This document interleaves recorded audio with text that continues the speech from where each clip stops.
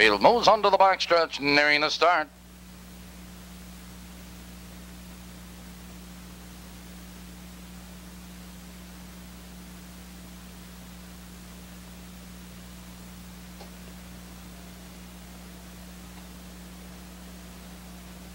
And they're off. There goes Rambling Road going for the lead. Puppet direct on the far outside. On the inside, that's Sinfully Rich. Three horses in a battle for the lead. Between horses, Rambling Road, but Puppet direct. Down moving third, driving to second on the outside. It's Sinfully Rich right there in third, a gap to Millie's Brett. In fourth by two lengths, Truant Silrock. Followed now by Double Trouble, Paul Revere. Spirited Skipper Unique at the end. They're by the quarter 29 and 2. And your leader is Rambling Road. Rambling Road by two lengths. That's Puppet Direct second, two lengths, and Philly Rich. Right there in third. Here comes Double Trouble. Out looking for cover, flushing out Sinfully Rich. Now they're moving for the half. Rambling Road. Here comes Puppet Direct. On the move again on the outside, second, Sinfully Rich. Now closing ground in third. On the outside, that's Double Trouble in fourth, Millie's Brett. Now tucked in fifth on the outside, Paul Revere.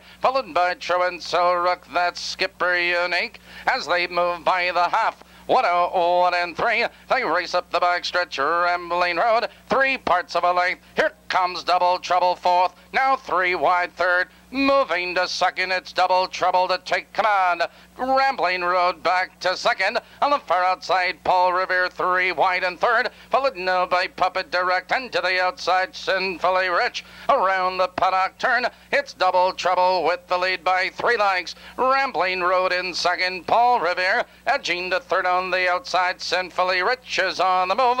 Here they come, turning for home. Double Trouble has the lead by five. It's Rambling Road in second, followed on the far outside. Sinfully Rich Paul Revere is there. Your leader is Double Trouble. Sinfully Rich closing on the far outside. Your leader is Double Trouble. It's Double Trouble with the lead. Sinfully Rich a late move.